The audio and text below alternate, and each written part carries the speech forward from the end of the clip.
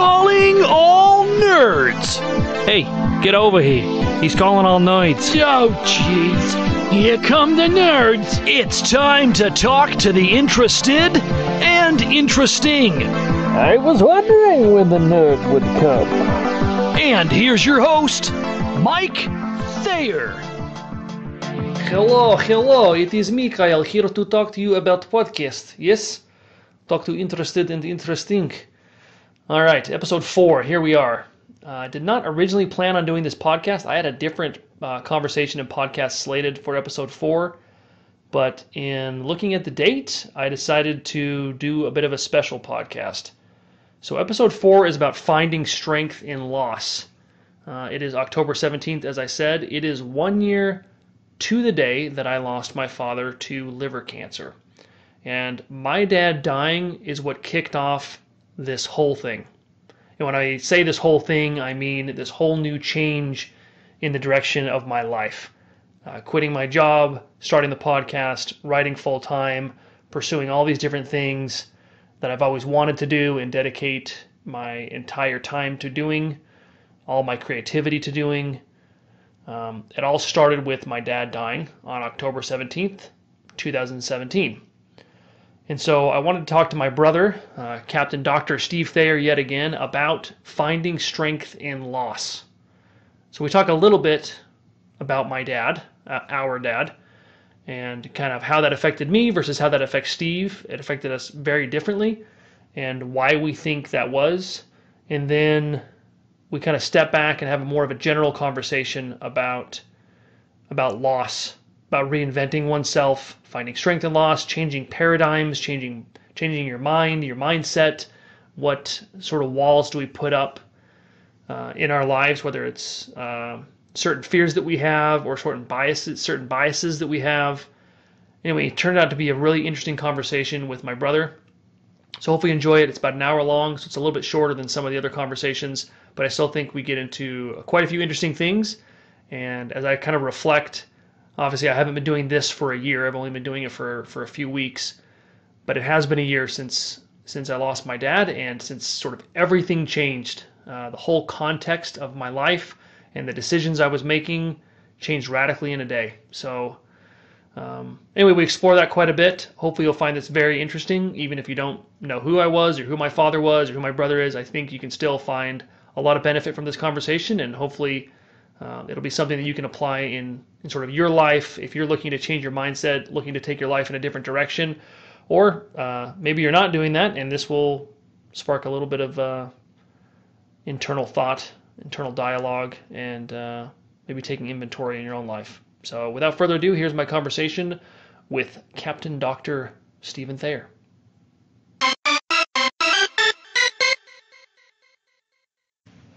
All right, Welcome, Captain Dr. Stephen Thayer. Welcome back. The first returning guest to Calling All Nerds that there ever was. Um, this week we are talking about finding strength in loss. It's sort of a special episode. It will air on October 17th, which is the one year. I hate to use the word anniversary, kind of kind of sounds like it's a happy thing, but it's uh, the one year anniversary since Dad died, and that's the whole thing that kind of kicked off this whole endeavor of mine. This quit your job, follow your dream, kind of change what you're doing, reevaluate your life. It all started with dad dying. So I thought it would be a pretty sort of apropos to talk about dad's loss and then just in general more broadly because I touched on it in different episodes. Um, obviously, it's going to sneak its way into almost everything I do. Um, but talk more broadly about finding strength in loss and just rebuilding yourself and repurposing yourself. Um, a recent conversation I had with my buddy Michael Hill. So this is actually going to be a podcast that'll probably be the week after this one. Um, but I talked about it was like dieting, right? So we talked about like going on ketosis and right. intermittent fasting, and he had like he had fasted for like seven days. it's crazy. I didn't think it was possible. Anyway, we'll talk. I'll, I'll talk about it that, that next week. But Jill had read this book and went to this um, like book club and it was um, on intermittent fasting. And she'd come back before she went to the book club. She read the book. She's like, "This thing's crazy. It talks about like fasting for seven days." I was like, "That's yeah. impossible." And then she comes back from the book club. She's like, uh, "Michael Hill down the street just did it." I was like, what? Like, yeah, I just fasted for seven days. I was like, no way. So, um, and so we talk a little bit about kind of this mindset change, right? Like when you don't think something's possible and you get sort of in this rut, not necessarily in a rut, but you just get in this mindset that this is the way things are and you continue to go on things. And then someone shows you a different way of doing things. You're like, what the heck? Holy cow, this Yeah. thing's actually possible. And this isn't some guy, you know, on the other side of the world. This is a guy down the street. This is my friend. So dad's dad's loss was kind of the catalyst in me in me kind of rethinking and recontextualizing my life in general. Which is weird because dad's teachings brought me to where I was, right? Was like Right. get a degree, get with the most stable company on planet Earth. Because when you're born in the Great Depression, that's the most important thing. Right. The most important thing is getting a job, holding on to that job for 54 years like dad did. So it was weird that dad's passing allowed me to like rethink some of that formula in a way. Um, but it did. And it's just this weird, I just, I, it's, it's, I don't know. A lot of people lose loved ones and they don't go through this huge existential crisis like I did, but like, I just looked at life completely different. It was so weird. Mm.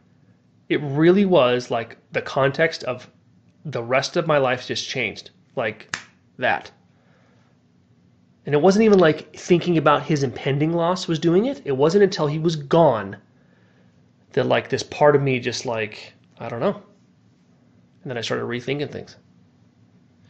Well, it's like it was a huge paradigm shift for you. And I was thinking about it, and it wasn't, you know, I, I it wasn't a big paradigm shift for me. I mean, it was it, having dad die was difficult, of course, and my life was different afterward. But um, in the Air Force, we had this thing called the Swiss cheese model, where Yeah. we talk about aircraft mishaps and how yeah that's we use the same thing in engineering right. right, So all those things have to kind of- align and then you shoot something all the way through yep Yeah. So there's for the listeners, right? There's a to have something like a sentinel event, or in, in the Air Force's case, an aircraft mishap. A lot of things have to have to happen in congruence in order for it to happen, right because there's so many safeguards in place, so many ways to prevent an aircraft mishap that each layer of cheese represents one of those variables, and it's every once in a while you'll get all those layers lined up in a specific way that the holes line up, or one of the sets of holes lines up, and you can slip all the way pass a bullet all the way through. Right, engineering we have like there's engineering type barriers you put in there, right? You design a vessel so that it can handle overpressure. And then mm-hmm. there's administrative controls. You and then all the way down to like your protective equipment and there's culture and there's all these different kinds of layers. So you're not just like we engineered this thing to the max. Well, then you end up with a Titanic because you think it's engineered for what it's supposed to be and it's not, right? And so, yeah, anyway, go on. Yeah, so for you, I think you know the paradigm shift was made possible because all these layers lined up, and timing is important too, right? Timing Right. is Yep. Hugely important. So you have your whole Chateau d'If thing going Yep. on, where you know you, you follow the path that that uh, that Dad sort of laid, you know, or at least his influence had laid out for you, and then his passing, it kind of liberated you, like it freed you up. yeah it was this weird like it's this weird duality and i've thought about this a lot where it was i've talked about this before like um, a way that i felt very connected to dad was through writing even though it's not something i do with him. It's something that i do similar to him right? I share it with him although i don't do it with him. I've never written with dad right? He's hardly read any of my stuff or he hardly was able you know had a chance to read it but i still felt like it, this is a way i was connecting with him in a way so to really follow this, I was like, to follow this way, this sort of this thing that I shared with Dad, I had to give up basically all this other advice that Dad had given me, which was go get a degree, stay in your job, you know, don't take any risks, be conservative, which served me so well up to a certain point. And it's like now I have a chance to follow a different part of his advice that I couldn't. It's like it's like the whole Adam and Eve thing. It's like you know, don't eat from the tree of good and evil, but multiply and replenish. It's like you well, Yeah. you gotta do one. I mean, you, you gotta transgress one to do the other. And so it's almost like with Dad passing, it was like, oh, all right. So now his advice got me to a certain point, and I'm glad I got me to that point. And I wouldn't trade anything. If I was to do my life over again, I would do the same ten years. Right? I would go to get chemical engineering degree. I would get that base. I would make that money.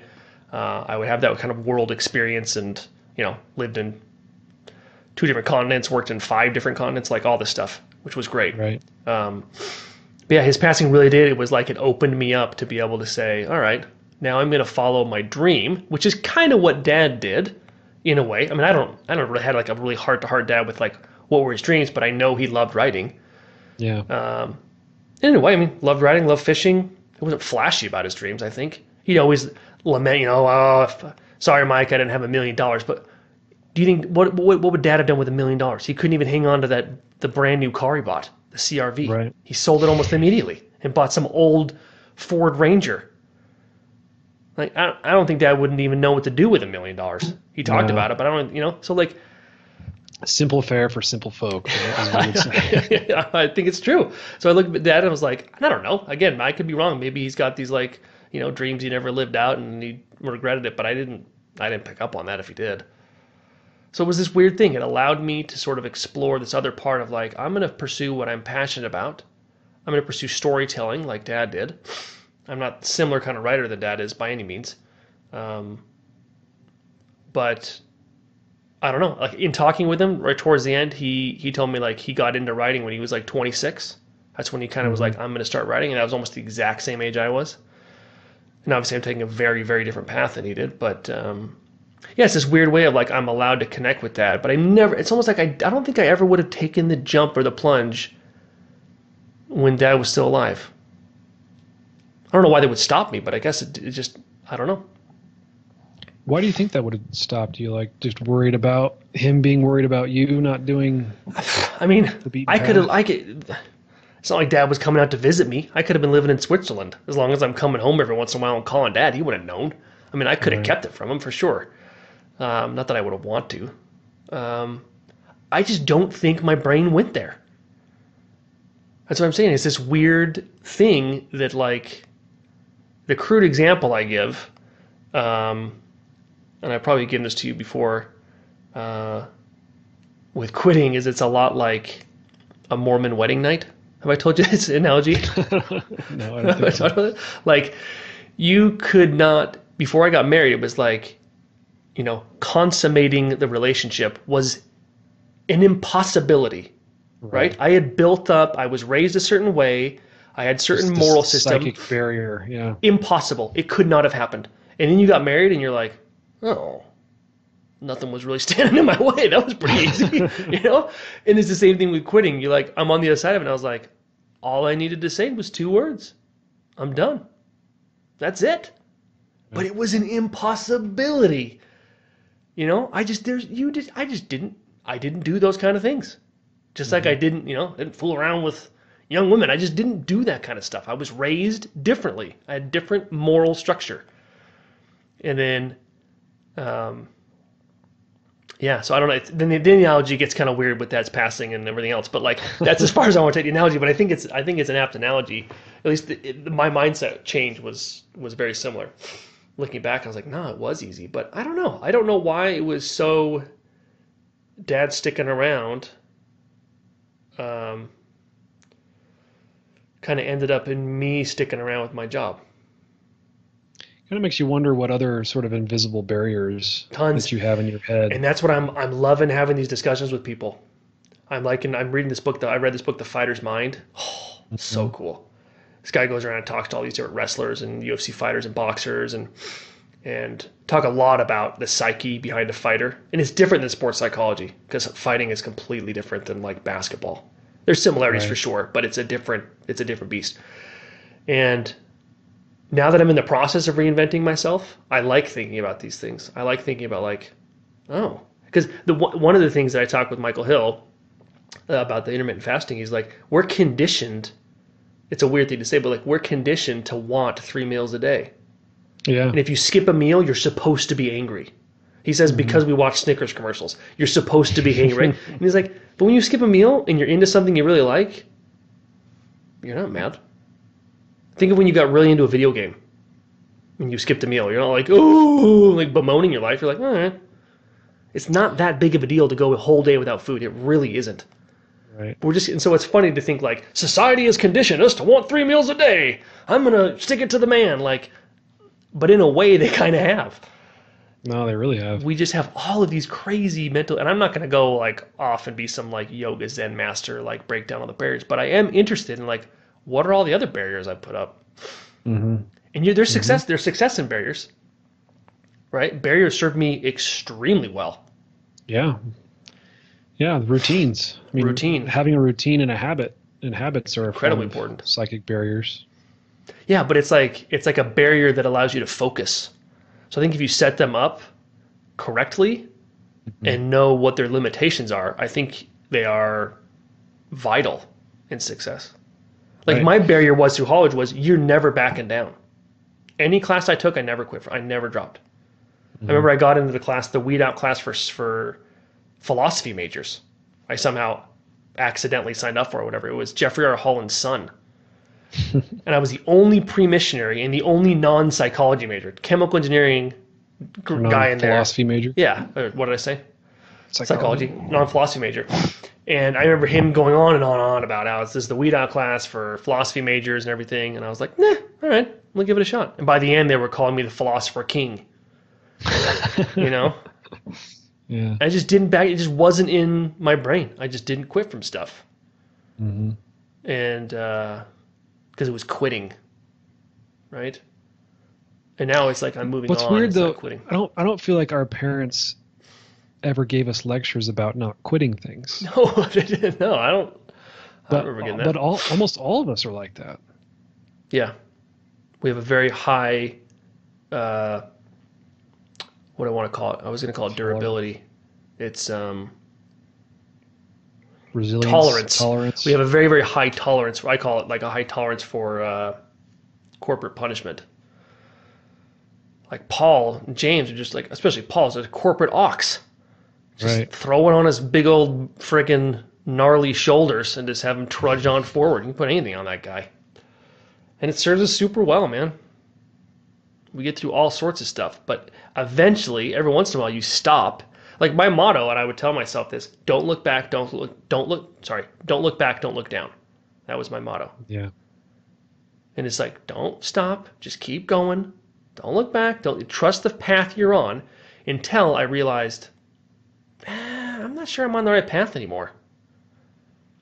And I didn't have that. I didn't even question that until Dad died. And then for some reason, I told you, and, I, and I've told this story before. I've told it in videos and whatever else. When I sat down and looked at the clock, you know, Right. in the church, and that really was one of those crazy, like epiphany style moments where you just recontextualize your whole life, or at least not your whole life. You recontextualize your next step There you go. right? And um, yeah, and so I just said, yeah, I don't, I don't know if I need to do this anymore.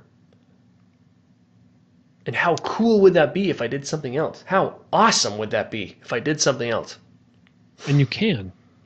Yeah, right and that's that's the paradigm shift i'm talk i was talking about then the that the fact that you can the mormon wedding night like you you could have had sex before marriage right. If you want i mean but in, in your mind it was like well no you just don't You don't do it's that. almost as if you can't do that And this Like, is not this is not a PSA for not being chaste. by the way. This is just lack thereof yeah but like uh, so much so that it just did not does not even occur to you nope. and there are a lot of things as i said it just kind of makes you wonder how many more things are like that in your head not that you're going to re-question all your morals necessarily but the the the goals that you have Yep. the limitations you think you have human brains are really good at developing habits you know we, we used to have the cognitive psychologists have this phrase called that human human minds are we're cognitive misers we like to conserve energy Right.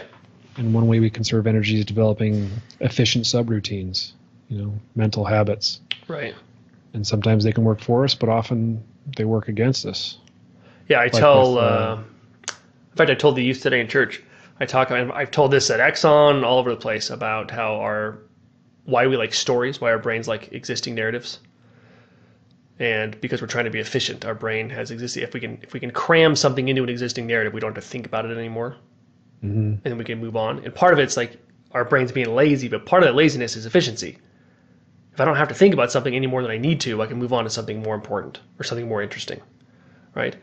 And the example I kind of use, it's a weird one, um, but it's uh, it's Brian Atkinson. So I, you know, he passed away, and a originally because I know he'd gotten into some, you know, drugs and whatever else, and so it was very easy when you first hear something like that.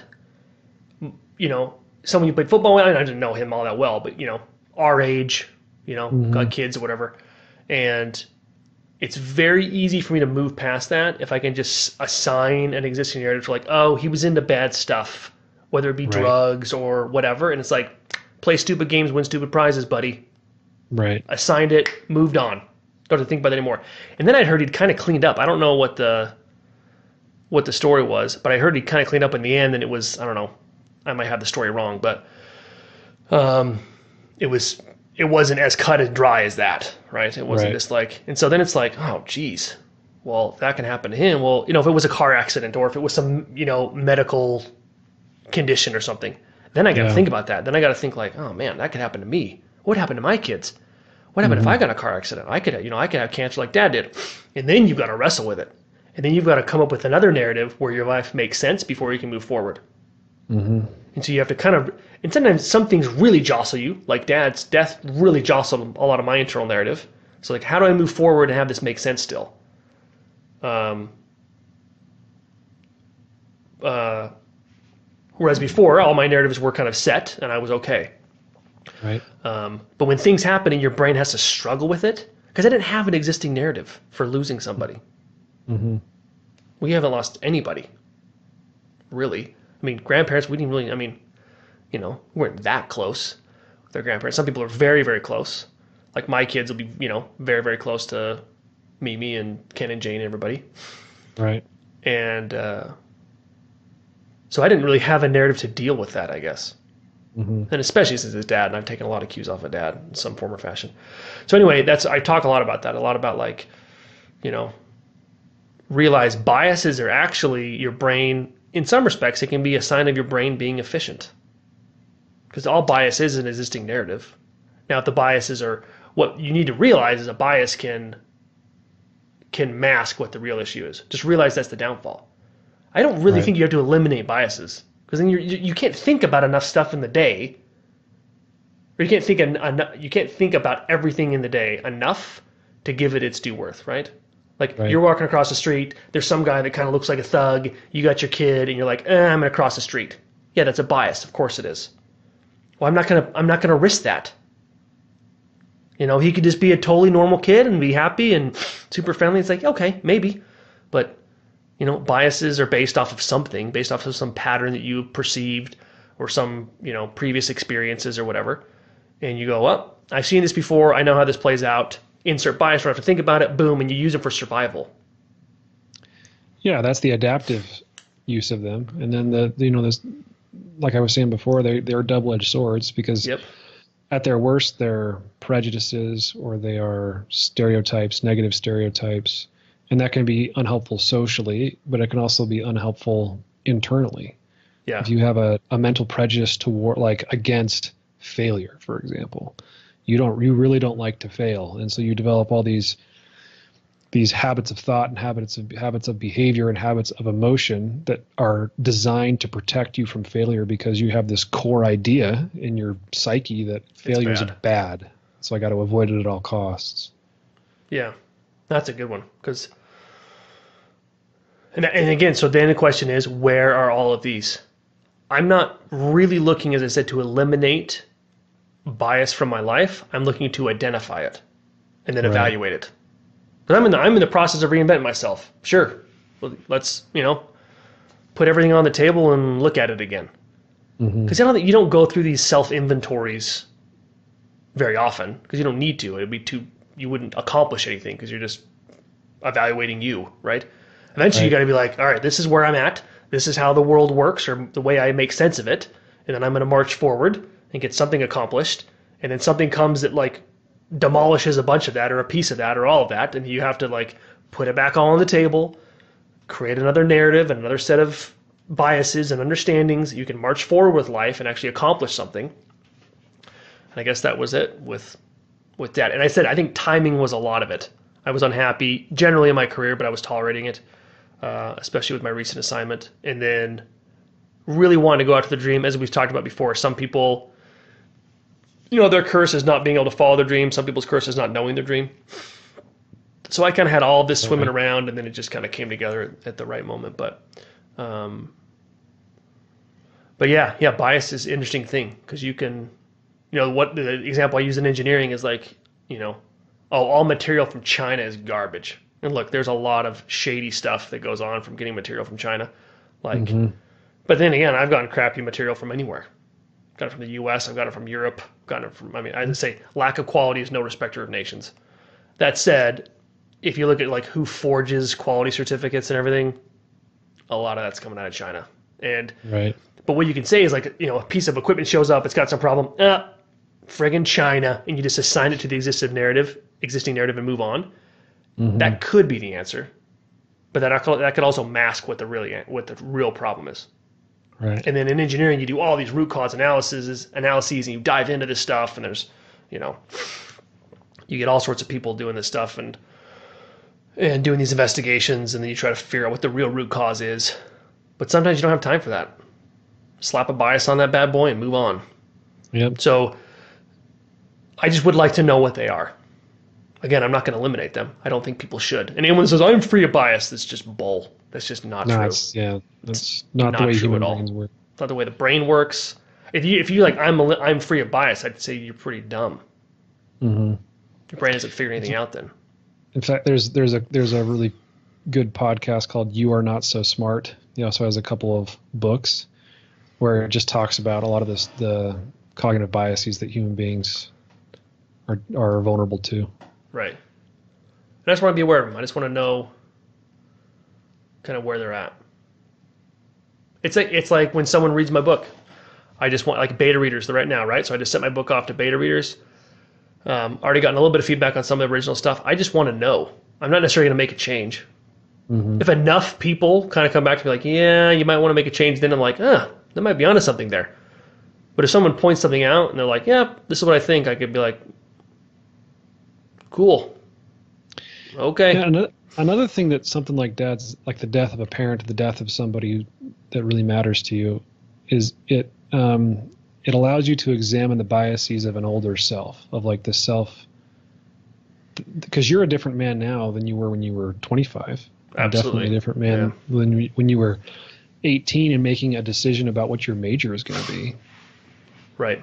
So to expect you to, to continue to toe the line in the service of your 18 year old, the 18 year old version of you, is I don't think it's it's it's totally useful. Yeah, I think and just pausing again, you might not make a different decision, but just pausing to reevaluate it, I think, is important. Yeah, to examine the underlying assu- assumptions. Yeah, do they still hold? I mean, you should do this, right? And that's why, like, I mean, flip flopping politicians is one thing because I think they do it, it's self serving. But if someone truly has like a change in opinion or heart or whatever, like, they mm-hmm. should reserve the right to be able to do that. Yeah, yeah. If anything, that shows that they're critical thinkers. Right. Now, I think that gets, as I said, so I think I think a lot of what you see, at least in politics, is it's it's flip flopping because it's self serving. It's not really they just whatever they need to say, they'll say to get whatever they need to get. But Right.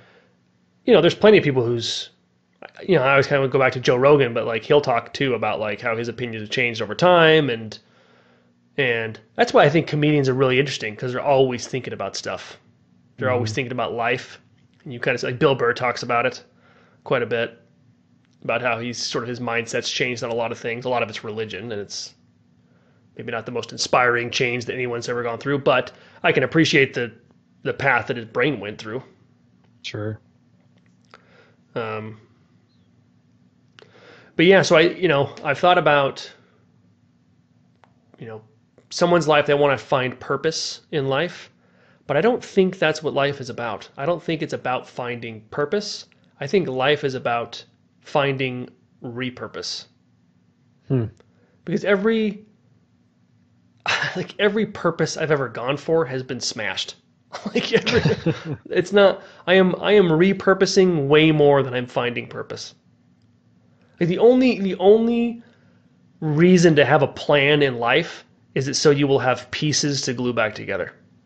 Hmm. That is the only that is the only advantage of having a plan.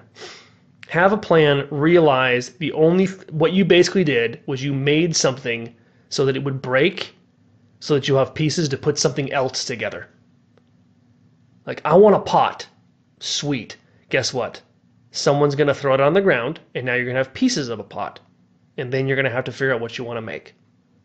You can try to make another pot if that's what you really want, or you can try if the pieces are breaking a different way and you combine them with other things that are broken, you can come up with something else that's cool. But like looking back Yeah, at my life, it's not it's not it's, it's never the pot, man. It's working the pieces of the pot. And if you're willing to put the pieces back together, then you might end up with something that's cool, like you said. I think you do. I think I mean looking at a lot of what I've done is just I don't know. My expect maybe it's maybe it's me being a little too jaded or whatever, but it's maybe maybe it's just experience. Maybe that's what you get to when you live long enough and you fail enough times. Um, some people get some people get lucky. sure. Yep. I think a lot of the very successful people in this world were insanely resilient. They worked really, really hard. They didn't give up, and they got lucky too. There's a lot. Well, so I think involved. that's it. I think that I think the idea is, and again, people have different mindsets on this, but any real big success is a confluence of a lot of things that I think someone could explain as luck.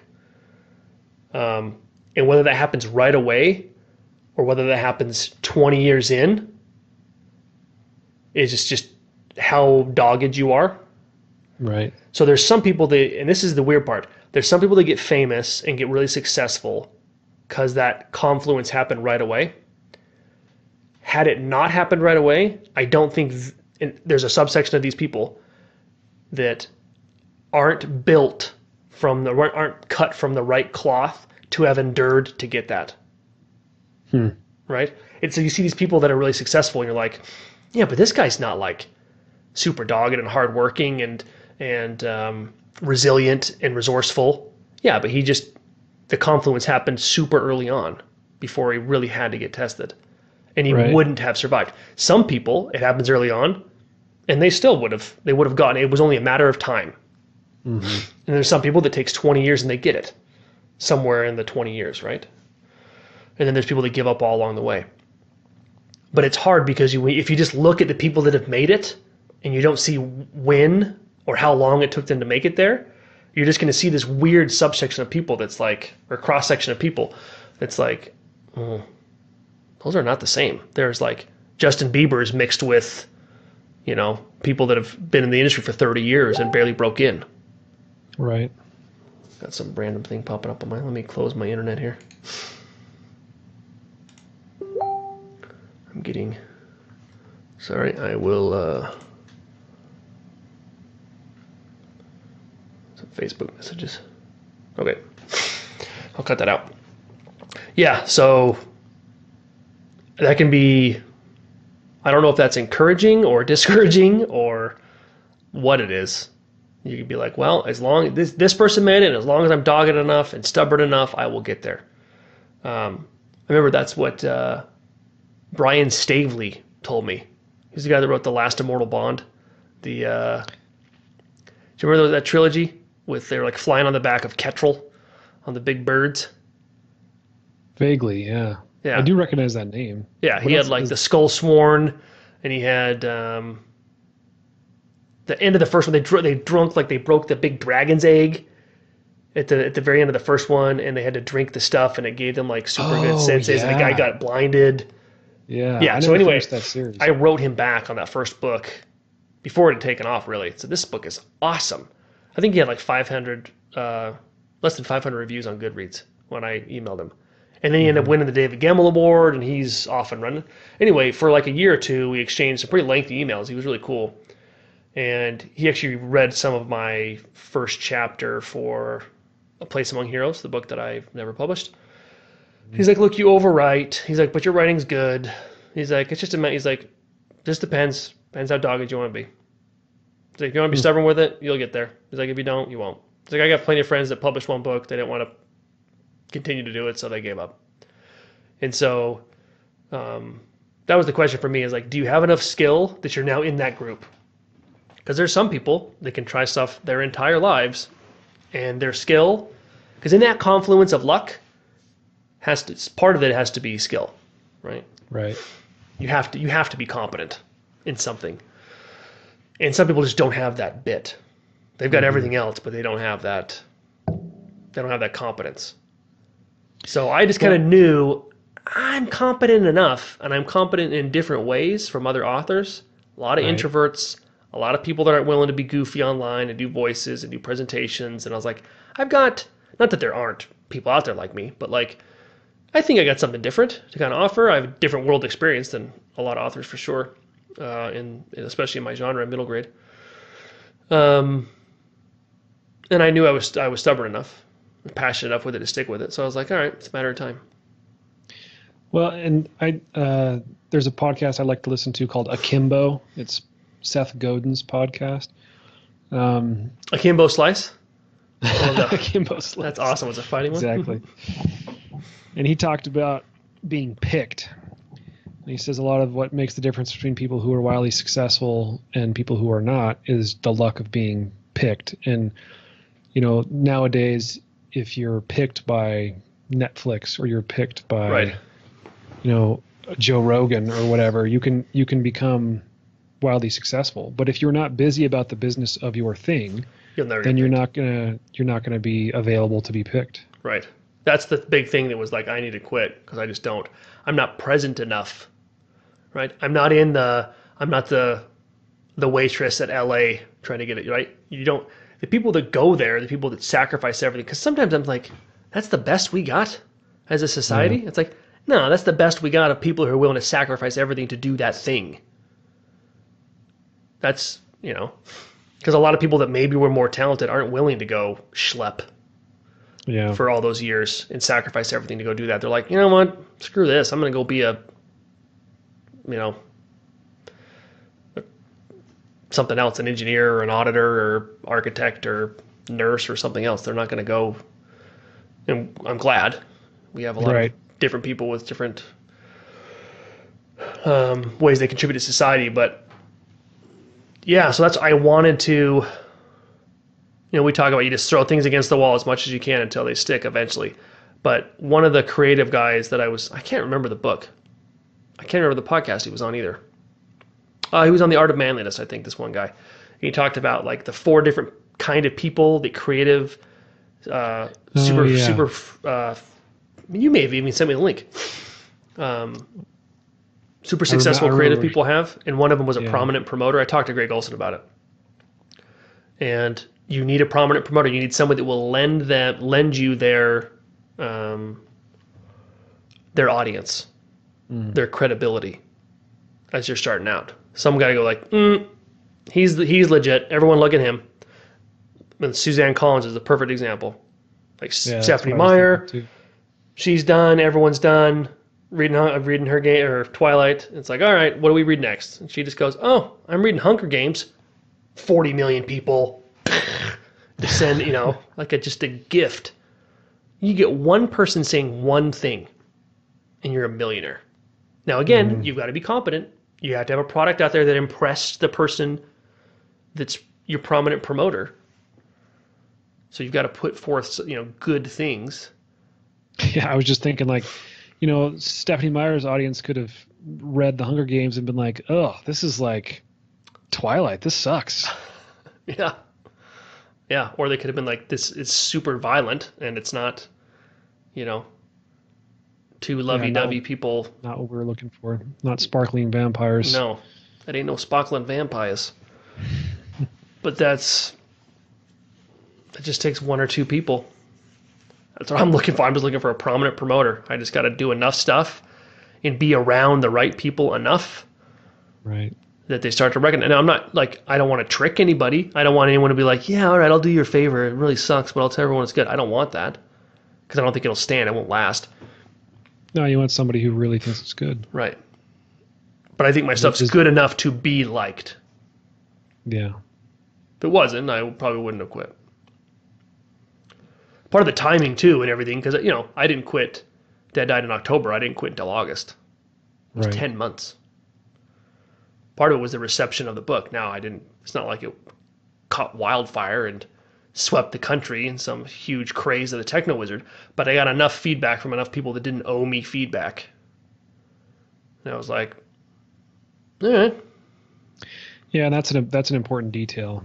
People are unsolicited giving rave reviews or positive reviews, yep, and that's a good sign. yeah, because you can you can fit yourself in a nice little echo chamber pretty easy. hmm Yeah, just watch an episode of American Idol. yeah, watch no kidding. people come up there and you know whose family members have told them they're good at singing, and then Simon Cowell takes a dump in their face, and they it's the first time they've gotten negative I know. criticism. Yeah, it's tough. It's what's what's also tough too. I want to touch on is so now that my kids are getting older, so a lot of my past failures in high school and stuff, I just you know you get over it, you bury it, you move on. Um, but now my kids are starting to go through some of the same things, and so you start to dig up some of those old emotions you haven't thought about in 20 years. So one of them was, I mean, sports is one. Right. Although we had really successful teams, right? Like I was talking to Abby. So she's I've traveled probably over probably close to a thousand miles going between Bozeman and Helena and everywhere going to her soccer games, and her team just gets destroyed. I have probably Yeah. watched her team get outscored forty to two. It's so painful. I finally know what it's like to be a parent of a Payson football player. yeah, exactly.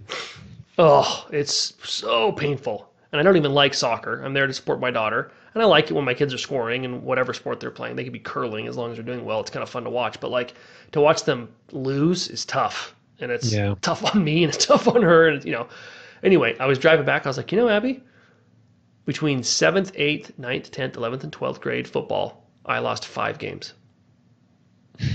We were undefeated 7th and 8th grade. We lost one in ninth grade. Undefeated 10th and 11th. Lost four our senior year. Yeah. So I was like, up into my senior year, I lost, I lost one game.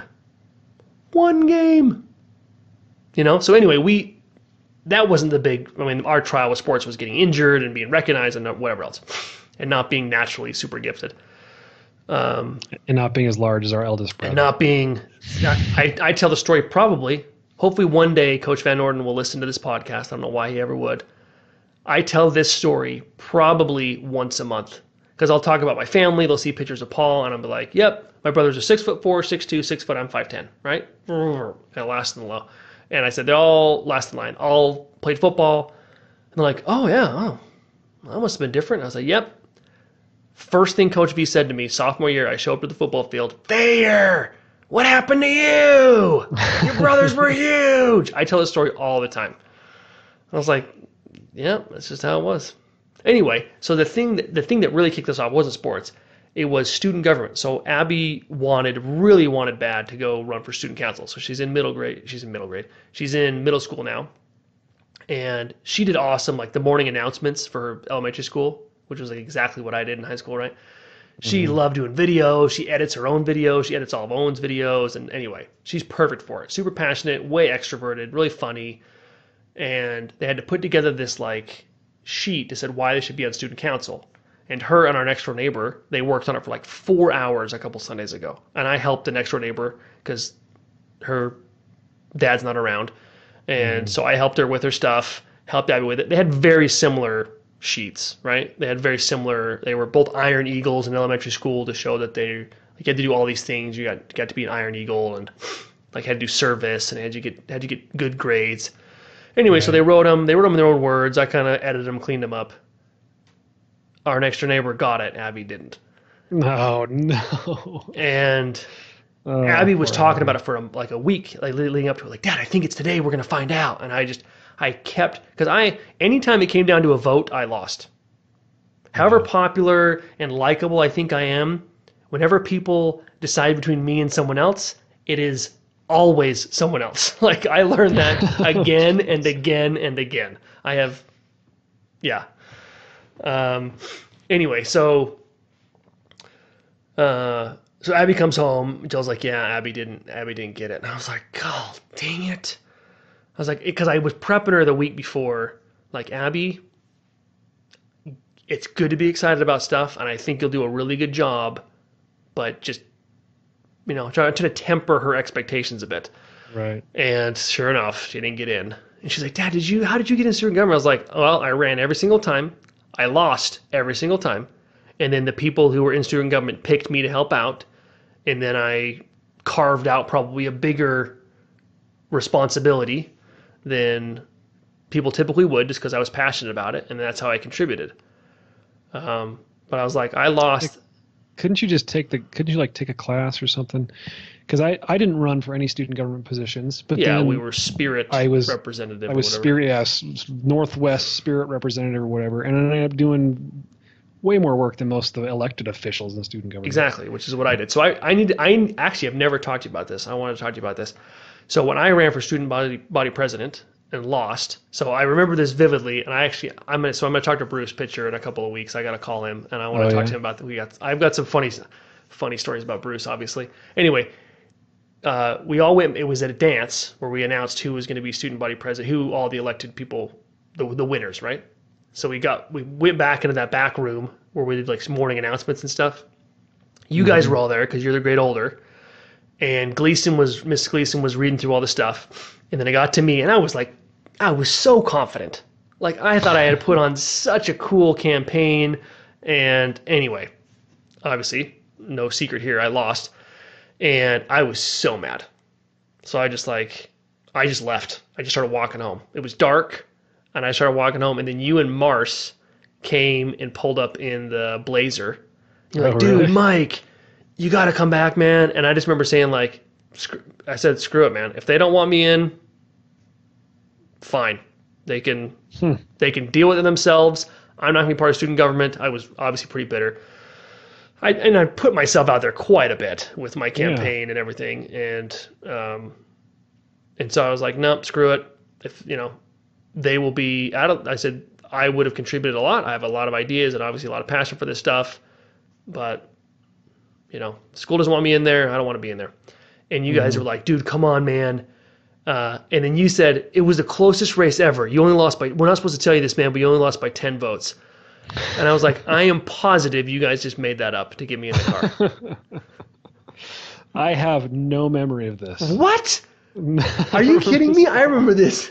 I'm so glad that uh, it affected us both the same.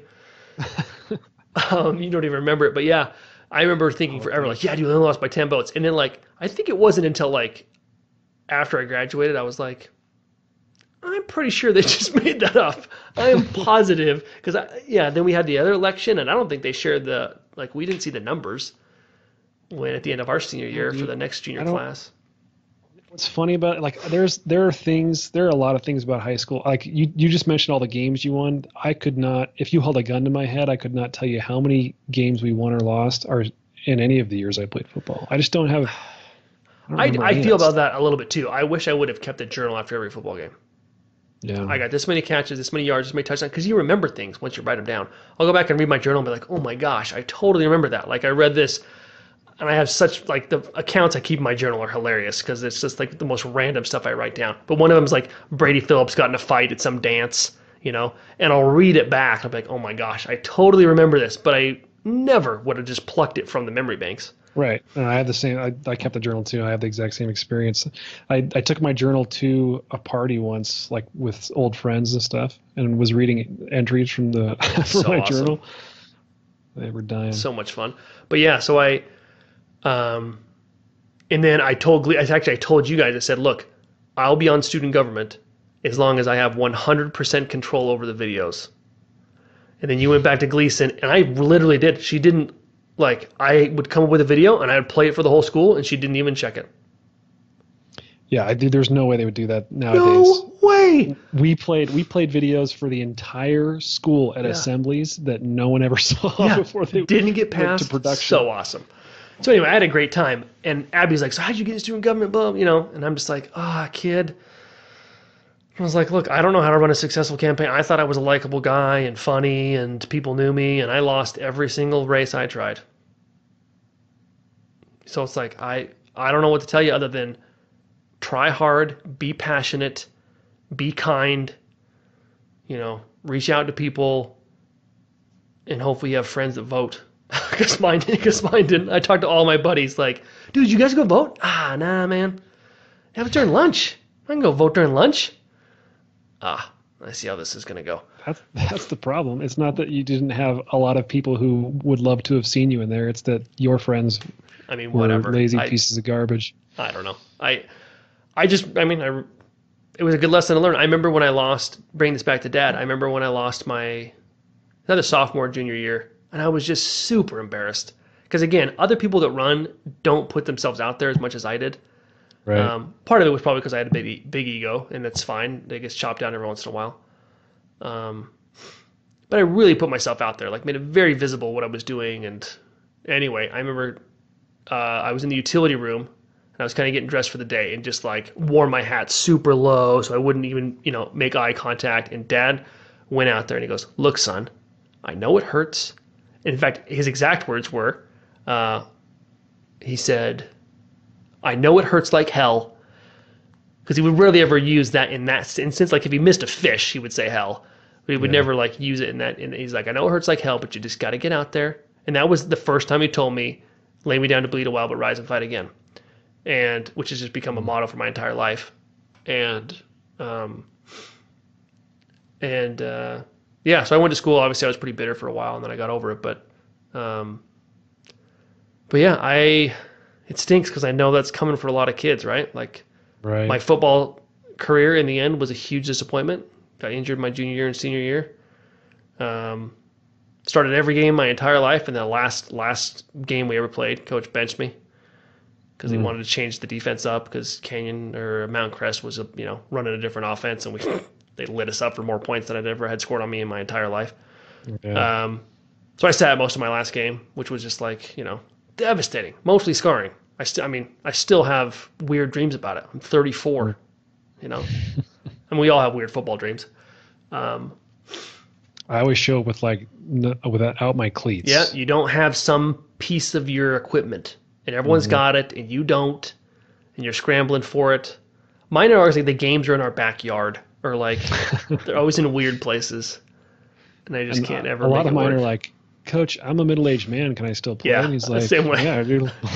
like some weird loophole. I was like, yeah, I'm actually feeling pretty good.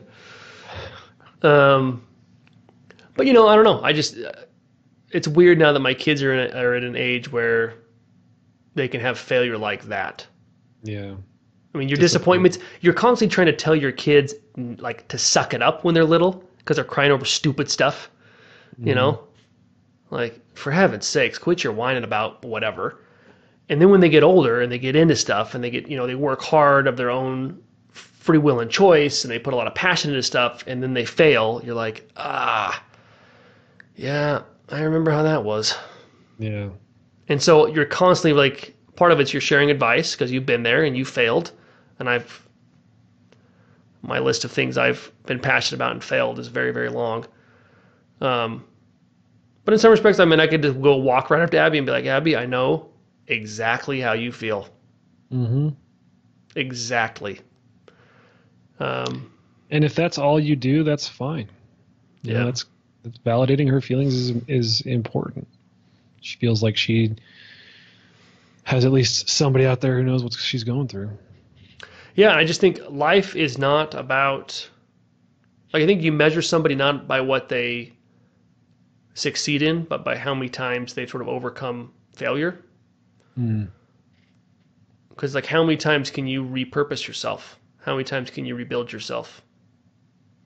Like it's not nearly part of it is being tough, being able to take damage and absorb damage. And part of that is being able to it's like the T1000 thing. Like Yeah. some of it's like not being melted down, but another part of it's being to just reform yourself in some Mhm. way once you get melted, because you're gonna get scorched, man. There's no ways. Of, and Abby's big thing now is all of her friends have cell phones, She does not have a phone. By the way, anyone that listens to this, I and you give your 10 year old or 9 year old a smartphone, Oh, I would love to have a conversation with you. yeah. Like, let's come on the podcast and let's have a conversation. What are you thinking? What are you thinking? Like, I don't know. Anyway, the vast majority of her friends have phones, smartphones. Right. She's 11. She's 11. Most of her friends don't have training bras and they have smartphones. Like, Right. give me a break, parents. Like, I am not the greatest parent on earth. I have plenty of flaws, but that is not one of them. Mm-hmm. Like, how naive of a human being do you have to be? I don't know, man. It's caught up in the. God, who are you competing with? Like, your kid? You're gonna, like, cave to your kid? Like, Abby sees it now. It was the first year, it was like, Dad, when am I gonna get a phone? When am I getting a phone? And now it's like, yeah, I see it, Dad. She doesn't even, I'm a, she, it just all, all requests for a phone have stopped. Because What she, does she see- she sees her friends abs- totally absorbed into their phone. Mm-hmm. Like I heard her say, because she has the iPad, right? We have a family iPad. She can text her friends from the iPad. Mm-hmm. So, you know, and I have complete control over that. There's a password on it. I can look at what's being sent to her. Um, she only has it in the house. She doesn't have it, you know, other places. I know exactly what apps are on there. And so, um, and so she sees her friends, like she goes over to her friend's house, and the mom's like, Abby, how does your dad keep you off your phone? Because Abby's like, I go over to this house and everyone's just on their phone. And Abby's like, uh, I don't have a phone. And I'm not like, this is not some new age, like, new way of thinking, parents. Let's start an assembly and let's talk about how we get away from, like, this should just be common sense. This is not a new way of thinking. Right. This is just like, I don't know. My mind is boggled by this. And so then she'll see like her friends that just all they do is text. And then she'll kind of be like, Dad, all the friends are texting. I'm being left out of these conversations. And I was like, well, you know, are those conversations you really need to be a part of? Is there any way that you can, you know, still chime in? She's like, but they don't invite me to stuff. And so she's she's kind of in the middle. She's friends with the popular girls, but then she's also friends with kind of some other people as well. And she's got this this other group of of Mormon friends too. They're just awesome. And they're a lot more like her as far as having access to some of this stuff. And I kind of see her gravitating towards there. Um, but it's a tough time for her, man. She really is. Yeah. In middle school, I've never, you know, I've been 11, but I haven't been an 11 year old girl in 2018. Yeah. And it's tough. And so my heart just kind of goes out to her a little bit. But I was like, I'm not going to get you a phone. I'm just, and, but she sees it. Like, I'm, I'll probably get her a flip phone when she's like 14 Mm-hmm. she can text she can call me if she's out with her friends. I kind of know where she's at. Um, but it's like i know what the parents are going to say like oh i don't need to know where they're at or uh, you know i'm working. It's like how many places is your 11 year old you don't actually know exactly where they are? Like if anything that was how we used to live. Right. we used to just like bye mom going to whatever and you just take off on your bike and you'd be gone. I feel like i grew up in the 30s compared to now you know and now back then you would be like where the heck is mike you wouldn't even know now it's like i know Right. exactly where abby is at all times i know exactly where my daughter is have to call around to different friends' houses. Hey, Yeah. is my son over there? Yep. And we survived. But it's like, yeah, I did the whole, what a pathetic excuse to give your kid unfettered access to the world Mm-hmm. because you want to know where they're at. Have them wear a, a watch or a flip phone or something. LoJack him with a GPS. it's, I just, that's another, yeah, I just, I don't understand that one at all. I don't get it. I, in fact, I told Abby, I said, if you can give me one good reason why you need a smartphone, I will buy you one tomorrow. She couldn't come up with a good reason. She had to admit it. Well, I want to call. I'll get you a flip phone. Well, you know, you need to know where I'm at. I know where you're at. I, I solved that through parenting. you talk about the Swiss cheese model. How can something go bad to your kid and all the different kind of controls? The last thing is a smartphone. There's all these other ways you need to address that way up front. Mhm. You need to in, you're engineering how you raise your kid. Administrative controls, what you allow them to do in your rules. Like there are so many things you do before you just throw a phone at them. That's the equivalent of going, well, I know this refinery's on fire, so suit up in that bunker gear and get in there. You're just, that is the last line of defense, man. And there's like a thousand other, anyway, that's a soapbox I didn't expect to get on, but like, I don't get it. I really, seriously, if you have, if your kid's 10, 11, 12, and you gave them a smartphone and you think you've got it figured, give me a call. I would love that conversation. Yeah. Number one, you're just making it harder for me to raise my daughter, is what you're doing in the way that I want to raise her. So everyone adapt to my parenting style right now. I don't know. We've had to have this conversation, or not this conversation, but a conversation similar to it about Fortnite. Oh, Because my oldest was way into get like getting the skins. Yeah. He would use the money that he earns from doing work to buy these skins. And then there was some glitch, and one of them disappeared from his item locker or whatever, and he he melted down. He was like, he's he still won't. You texted them and and you emailed them, and they won't they won't put it back in there. Why not? They're so mean. They're just so greedy and selfish, dude. Sorry. yes, you must learn these lessons when you're young. Mhm. Of corporate greed and Fortnite skins. Yeah, I mean it's definitely a different time to raise kids than it was when we were kids. I get like society has moved so fast. So fast. Things have changed so much.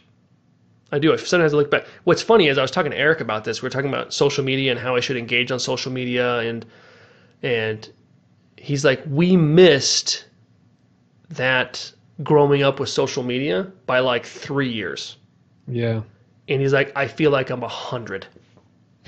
Because his wife's five years younger than him, and she just talks through social media much better. Like, they're so much better on like Instagram stories and Facebook stories. Like, anyone that talks to anybody on social media that's 35 years and above, it's Facebook. 35 years and below, it's Instagram.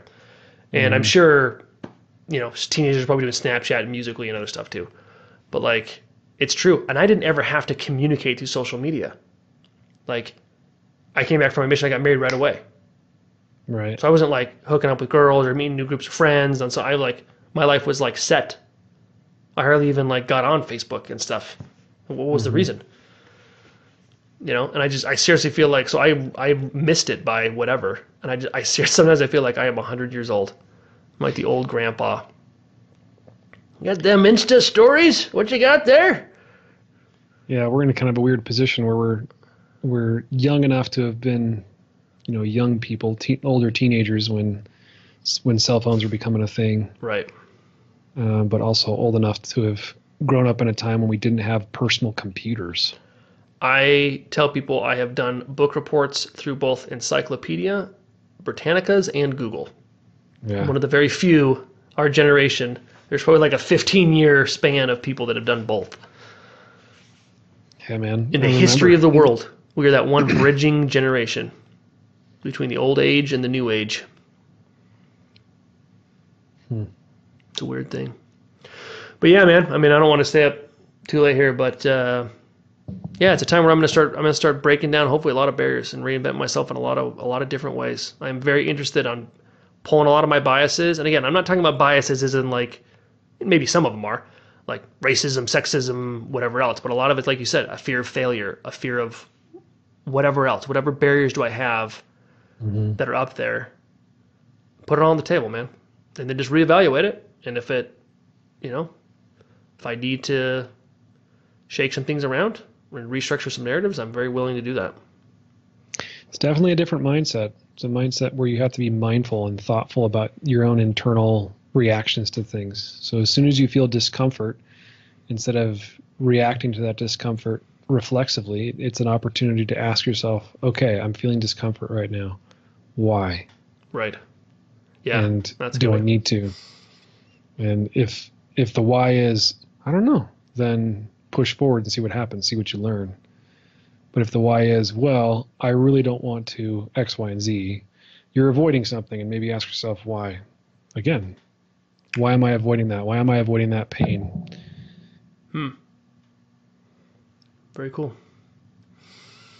all right man i will let you go Yeah. gracias It's- captain and doctor Been a pleasure. all right man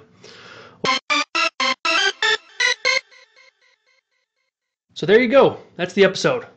Again, I thought it was pretty interesting. I am at a crossroads right now, uh, a time of reinventing myself, and I am very willing to kind of throw it all on the table, all my different habits and and paradigms, and biases and everything else.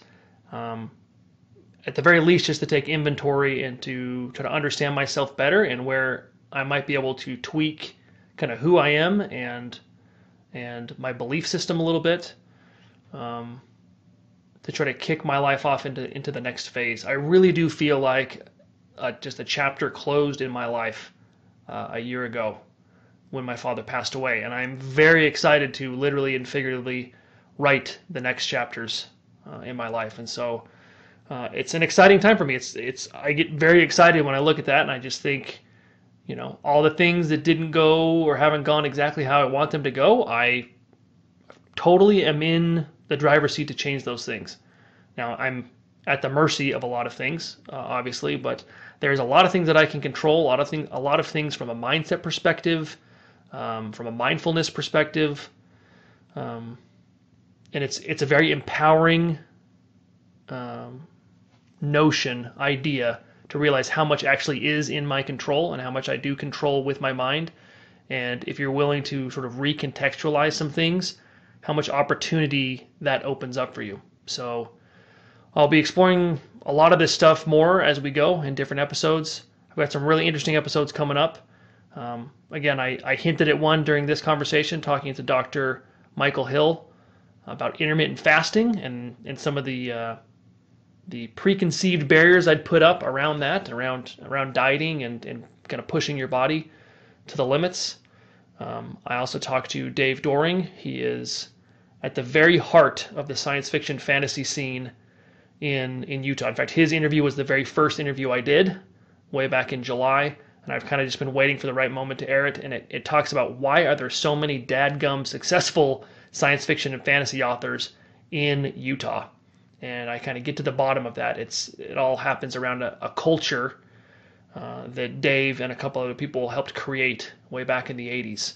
And um, anyway, again, a really interesting conversation with him. So until then, please respond to the call as I call to all nerds, whatever your nerdery might be. Thank you, and until next week, ciao.